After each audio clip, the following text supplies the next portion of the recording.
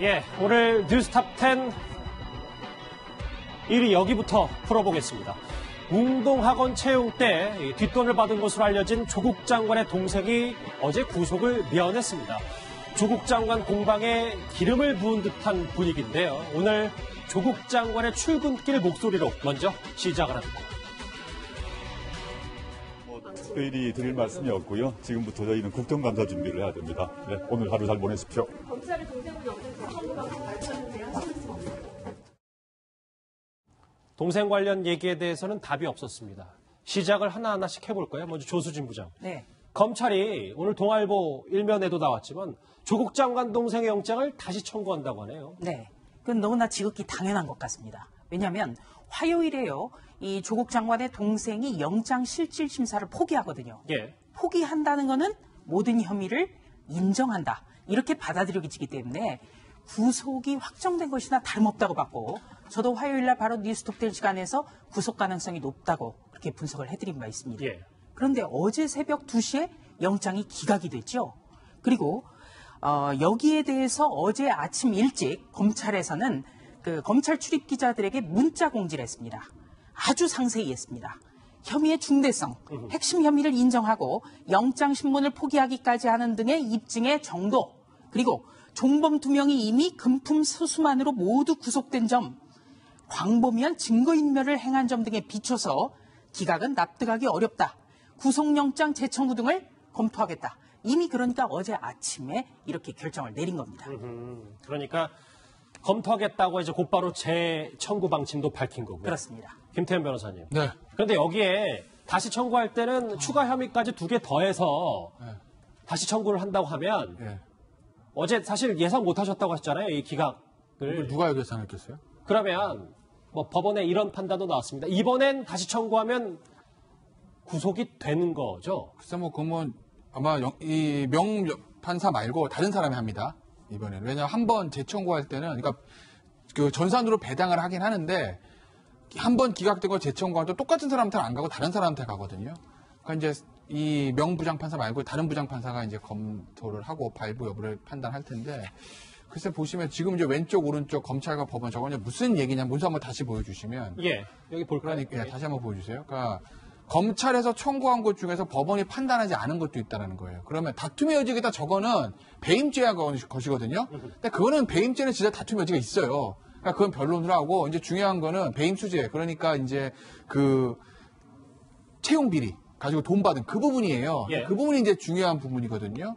그런데 문제는 검찰은 저렇게 증거인멸 교사 부분에 대한 얘기를 했는데 그럼 법원이 기각을 할 때는 검찰이 중요하게 생각을 했던 저 증거인멸 저 부분에 대해서 검찰은 그렇게 얘기하지만 증거인멸 우려는 없다. 뭐 이렇게 뭐 써줘야 되는데 그거에 대한 판단은 없다는 거예요. 증거인멸이나 도주 우려에 대한 판단은 없다. 물론 지금 증거가 다 확보돼 있다. 그 얘기는 뭐냐면 종범도 구속돼 있고 이 사람도 자백하지 않았어. 그 얘기를 하는 건데 검찰이 보는 포인트는 그게 아니라 이 사람이 이미 허위 해외 도피 지시를 정황 해외 도피 지시 정황을 하고 지시의 정황이 있고 허위 작성서를 만들라고 지시한 정황이 있는 이 부분에 대한 걸 얘기하고 있거든요. 근데 그 부분에 대한 판단이 좀 빠져 있다는 거죠. 그리고 이례적으로 피의자의 건강 문제를 또 언급을 했다는 점. 그러니까 검찰 입장에서 봤을 때는 검찰이 제시한 것들 중에서 이 조 씨한테 불리한 것에 대한 판단은 없고 오직 조 씨한테 유리한 것만 뽑아서 영장을 기각하지 않았느냐 라는 게 검찰의 시각인 거죠. 예. 네. 또한 가지 좀 덧붙여 드릴게요. 이번에 강제 구인을 통해서 데려온 거거든요. 부산에서 데려왔죠. 그렇습니다. 근데 그때 의사 출신 검사가 부산까지 직접 내려가서 의료진도 확인하고 본인도 확인을 했어요. 건강에 이상이 없다고 판단을 해서 강제 구인을 한 겁니다. 그런데 영장 실질 심사에 들어가지 않았습니다. 판사가 보지 않았어요. 그런데 영장 기각 사유에는 건강 상- 상태를 참작했다. 이렇게 돼 있으니까 예. 검찰로서는 더더욱이 수긍할 수가 없는 겁니다. 그래서 재청구를 하는 거고요. 그렇습니다. 자, 조국 장관 동생의 구속영장 기각 후폭풍은 참 거셉니다. 야당은 오늘 담당 판사의 이름까지 거론하면서 강력 반발했습니다. 우리가 판결 확정 전에 범죄자, 피의자를 왜 구속하는 줄 아십니까? 증거 인멸 우려가 있기 때문에 중대한 범죄일수록 그래서 구속을 하는 겁니다. 우려의 정도가 아니라 증거 인멸을 했는데도 불구속을 했습니다. 그래서 아마 전문가들은 어제 많이 웃었을 거예요. 제가 좀 화가 나서 당신이 속해 있는 법원에서 일어난 일이니까 좀 해명을 해봐라. 내 다른 부장판사분 대답이 걸작이 명재건이가 미쳤나 봐요. 판사가 이상하다라는 표현까지 오늘 야당에서 나왔는데 그런데 장혜식 평론가님 화면 같이 보실까요? 반면 반면 여당은 여당의 수석 대변인 얘기입니다. 검찰이 재청구를 시도할 땐 정치적 의도가 있는 것이다. 라는 말을 했습니다. 글쎄요, 여야가 이번 구속영장 기각을 바라보는 시간이 극명하게 갈릴 것은 예상했지만 검찰이 영장을 재청구한다고 해서 정치적 의도가 있다고 단언하는 것은 조금 이해하기 어렵습니다. 왜냐하면 국정농단 수사할 때 우병우 전 민정수석에 대한 구속영장이 두 차례나 기각이 됐었습니다. 세 차례 재청구 끝에 발부가 되었고요. 이재용 삼성전자 부회장 같은 경우도 구속영장 기각되었다가 보강수사 거쳐서 다시 발부가 되었거든요. 그렇다면 그 당시에 우병우 전 민정수석에게 세 번이나 영장을 청구했던 검찰은 정치적 의도가 있었던 겁니까? 그렇지 않잖아요. 거기에 대해서는 아무런 말이 없이 오히려 검찰의 수사를 응원하다가 예. 이제 와서 조국 장관의 동생에 대해서 영장을 재청구한다는 이유로 이것은 정치적 의도가 있다는 발언을 집권 여당의 대변인이 하는 것은 바라보는 사건, 국정농단 사건이냐 조국 장관 사건이냐에 따라 검찰 수사를 바라보는 인식이 너무나 다르다는 뜻이고요. 저는 개인적으로 이 야당의 의원들이 사법부 찾아가서 항의하는 것 이것도 사실 삼권 분립 체제에서 그렇게 바람직한 현상은 아니라고 봅니다만 예. 과거에 김경수 경남도지사가 1심에서 구속됐을 때 집권 여당인 더불어민주당의 반응이 어땠습니까? 공개적인 항의, 사법부 판사를 실명을 거론하면서 탄핵시켜야 된다는 말도 나왔고 토론회도 개최했습니다. 최고위원들 주제로. 그러한 전례에 미루어 보게 된다면 과연 이 사법부를 향한 불신을 누가 만들었는가? 나한테 유리하면 좋은 사법부고 나한테 불리한 판결 내리면 나쁜 사법부라고 하는 이런 내로남불의 습성이 정치권 어디에서부터 왔는가? 국민들이 냉정하게 지켜보고 있을 거라고 생각합니다. 예. 네. 저는 이번 영장 기각을 보면서 2003년의 나라종금 사건을 조금 생각했었습니다. 그때 2003년 대검 중수부의 불법 대선 자금 수사가 촉발된 계기가 안희정 씨라는 노무현 대통령의 최측근 안희정 씨가 연루된 나라종금 사건이었거든요. 살아있는 권력. 그렇습니다. 예. 그런데 이 안희정 씨에 대해서 구속영장 청구가 무려 네번이 됐습니다. 아하. 세 번이 기각이 됐어요. 그리고 나머지 한 번 발부될 때는 보강조사라든지 추가한 게 없습니다. 그러니까 무슨 말이냐면 살아있는 권력에 대해서 처벌도 굉장히 어렵다는 겁니다. 그런데 여기에 대해서 재청구 시도 땐 정치적 의도 이렇게 한다는 것은 검찰 수사라든지 법원에 대해서 너무나 이해가 없다 이렇게 압축할 수 있겠습니다. 바로 이어서 김종욱 교수님께 여쭤볼게요. 네. 이 부분 한번 다시 보실까요? 그러니까 그럼 만약에 영장이 재청구돼서 만약에 발부가 됐어요. 조국 장관 동생이 구속이 되면 그때부터 또 여당의 이 법원 때리기, 네. 검찰 때리기는 또 앞으로 이어지는 겁니까? 그러면? 뭐 그러겠죠. 제가 볼 때는요. 문제는 뭐냐면 저는 오히려 지금 여당이 도움을 안 주는 것 같아요. 왜냐하면 저는 상식적인 판단을 한다는 생각이 들어요. 지금 같은 상황에서는요. 왜냐하면 첫 번째가 뭐냐면 예. 채용비리 주범은 영장이 기각됐고 종범은 구속돼 있는 상황이에요. 많은, 분- 많은 분들이 볼 때 상식적으로 이해가 안 되는 거고요. 그다음에 또 영장 심- 실질심사 포기한 분들 서울 지방 서울 지- 중앙지법 같은 경우는 3년 동안 다 예를 들면 구속영장이 발부가 됐어요. 근데 아주 이- 이것만 이례적으로 발부가 안 된 거예요. 그렇다면 이 부분에 대해서 이런 상황들을 안다면 여당에서 소위 다시 재청구하는 것이 정책 의도다? 아니, 검찰 입장에서는 예를 들면 지가 계속적으로 들면 여기에 대해서 어, 영장이 발부가 됐는데 지금 안 했다라고 하는 상황을 보- 보고 있으면 당연히 재청구를 하는 게 당연한 거죠. 저기에 대해서 문제 제기 하는 건 제가 볼 때는 스스로가 예를 들면 싸움들을 벌일 수밖에 없는, 그러니까 이 문제를 법률적 문제가 아니라 정치적인 논박으로 만들려고 하는 것이 아니라 생각이 들기 때문에 예. 좀 가면 갈수록 여당이 더 불리하다는 생각이 들어요. 저렇게 접근하게 되면. 여당에 더 불리할 아, 네, 저렇게 가야 되면요. 수 있다. 네. 자, 그런데요. 야당에서 주장하는 이 법원의 감싸기 논란, 조국 구하기 논란은 이뿐만이 아닙니다. 오늘 자유한국당 나경 원내대표 이렇게 주장했습니다. 조국 민정 전 민정수석이 어, 영혼 탈곡기라는 별명까지 들으면서 얼마나 많은 공무원들의 휴대폰을 아무런 권한 없이 어, 임의로 어, 탈탈 털어왔는지. 그런데 정작 조국 부부의 휴대전화 영장은 두 차례나 기각되었습니다. 지금껏 확보되지 못하고 있고 건드리지도 못하고 있습니다. 사실상 법원이 증거인멸의 공범을 자처한 것과 다름없다고 생각을 합니다.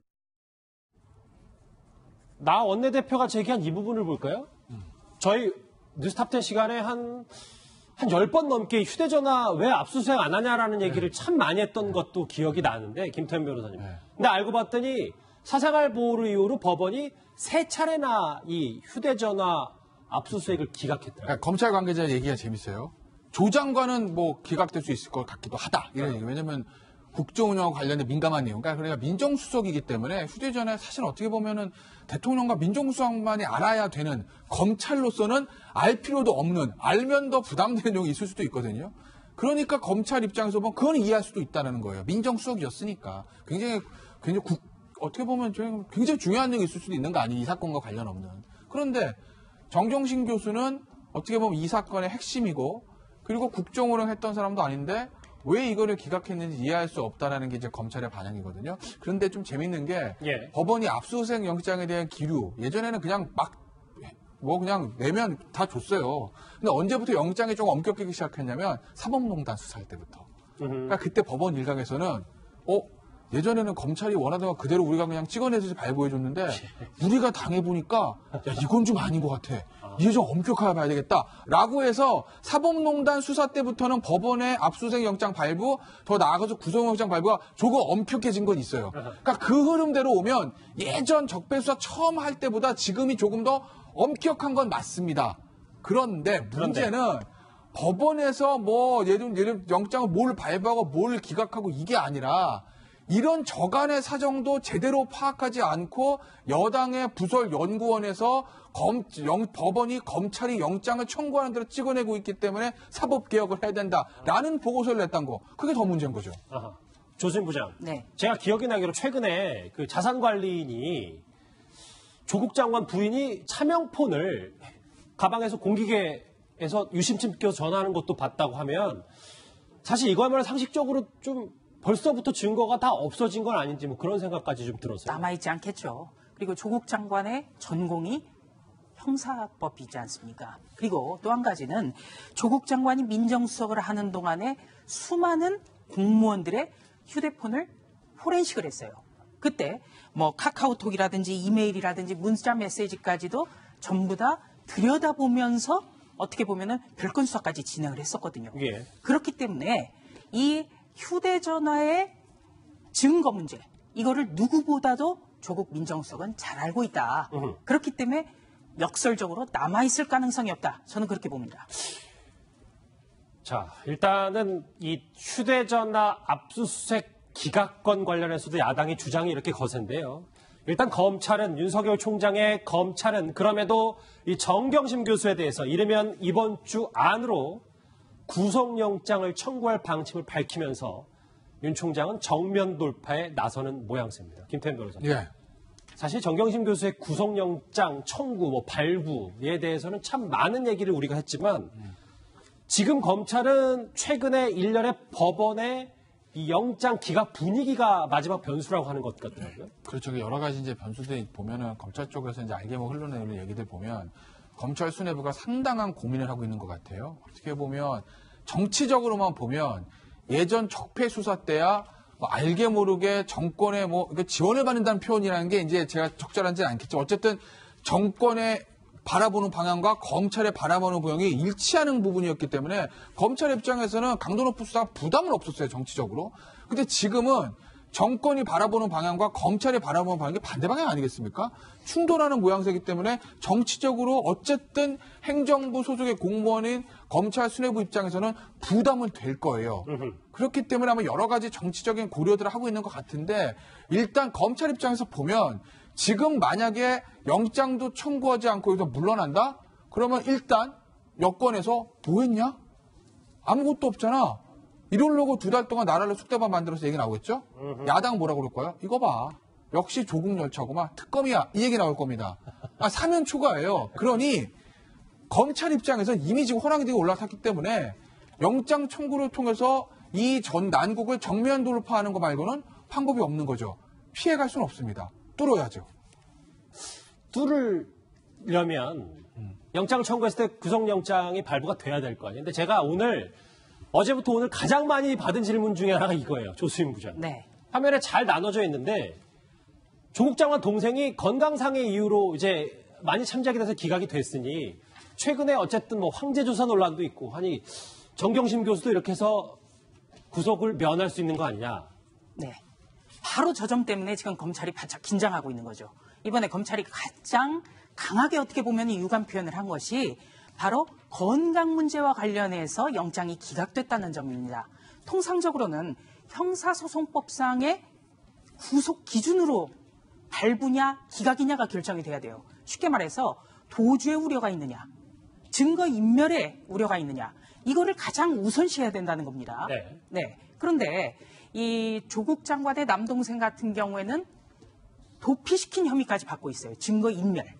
그렇다면은 건강 문제를 이유로 든 것은 바로 정경심 교수에 대해서 영장이 청구됐을 때 법원이 다시 한번 건강 문제를 이유로 해서 기각할 수 있는 것 아니냐. 이것 때문에 지금 검찰에서는 바짝 긴장을 하고 있습니다. 예. 그런데요, 우리가 생각해 볼게.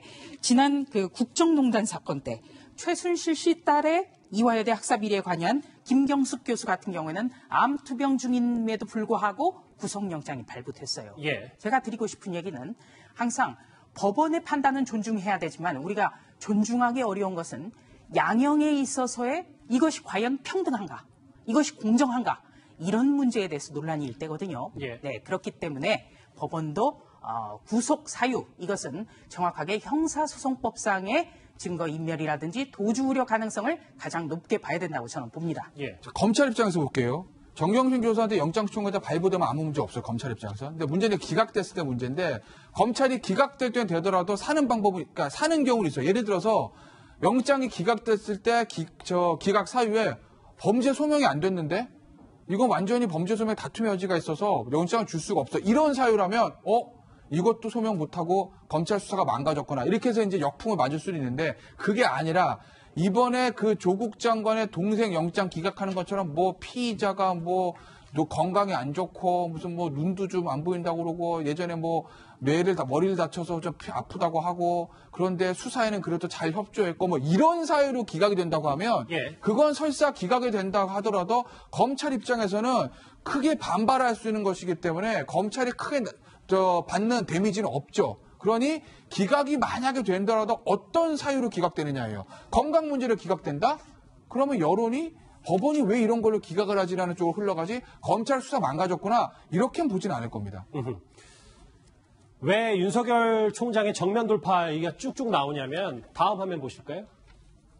뭐 건강 얘기도 얘기입니다만 지금 다음 주에 벌써 뭐 화요일 목요일에 굵직한 국정감사 조국 장관 나오고 윤석열 총장 출석하는 국정감사가 있기 때문에 그 전에 어쨌든 구속영장 청구에 대해서는 가늠을 해야 그래야 된다는 의견들이 많습니다. 장희차 평론가님. 사실 서울중앙지법 국정감사나 법무부 국정감사도 화제겠지만 윤석열 총장이 직접 출석해야 되는 대검찰청 국정감사가 실시되는 다음 주 목요일 17일 이전에는 최소한 조국 장관 남동생에 대한 구속영장 재청구 그리고 배우자인 정경심 교수에 대한 영장 청구는 결론을 내놓아야만 그리고 법원의 판단이 그 이전에 나와야만 윤석열 총장이 대검찰청 국정감사에 출석해서 뭐라고 제대로 된 답변을 할 수 있을 겁니다.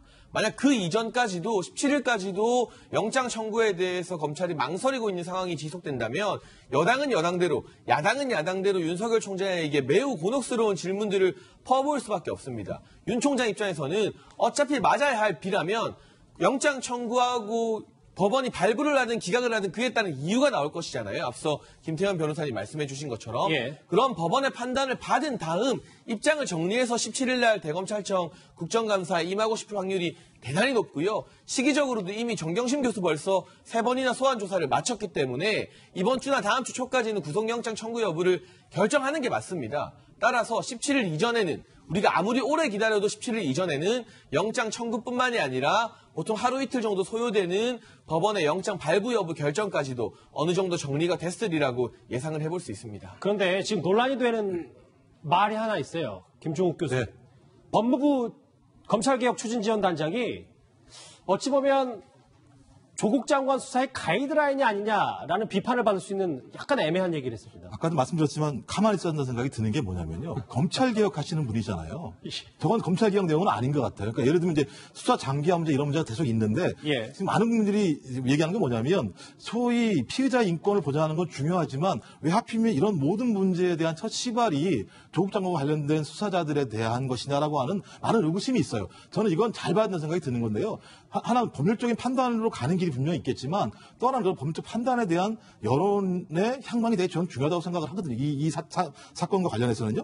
그리고 제가 보면 조국 장관도 그런 얘기를 했지 않습니까? 다음이 없다는 각오로 검찰 개혁을 하겠다라고 얘기를 했고 제가 볼땐 검찰 입장에서도 이미 활시위에 손을 놓을 수밖에 없는 상황인 것 같아요. 그러면 서로가 이런 소위 어쩔 수 없는 하나의 중대한 싸움으로 가고 있다고 얘기한다면 그 싸움에 대해서 다른 사람들이 이 문제를 제기해서 소위 여론을 악화시키는 방식으로 가면 안 된다. 전 적어도 법률적 판단에 맞게 서로가 자기의 양심에 맞게 수사하고 판단 내리고 그 판단들을 국민이 정확하게 이해해서 거기에 맞게 여론 의 추이에 따라서 정치권이 반응을 해야지 사전에 정치권이 미리 반응을 해서 그런 여론들을 바꿀 수 있다거나 법률적 판단을 바꿀 수 있다는 생각들을 계속 하고 있다라고 하는 건 저도 정치를 서법한 소위 정치 스스로가 자기 스스로의 예. 자기 일들을 지금 하고 있지 않, 다는 것을 반증하기 때문에 저는 저런 방식을 통해서 국민 여론을 바꿀 수 있다고 생각하는 건 저 자체가 저는 되게 상당히 구태적인 방식이라는 생각이 들어요.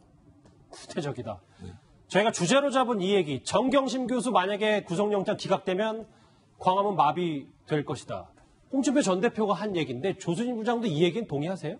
네, 좀 동의하는 부분이 있습니다. 왜냐하면 제가 어제 출근 때문에 이 광화문 사옥에 나갔었거든요.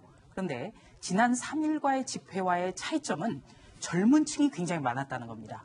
그리고 한국당 지지자가 아니라 어떻게 보면 중도라든지 지난 대선 때 문재인 대통령에게 투표를 했다는 분들이 상당히 많았어요. 그래서 왜 나오셨냐 물어봤더니 새벽에 이 조국 장관 동생의 구속영장이 기각되는 걸 보고 잠을 못 잤다. 이런 분들이 꽤 많더라고요. 아마 이제 홍준표 전 대표가 그런 기류와 관련해서 어, 저런 이야기를 한 것 같습니다.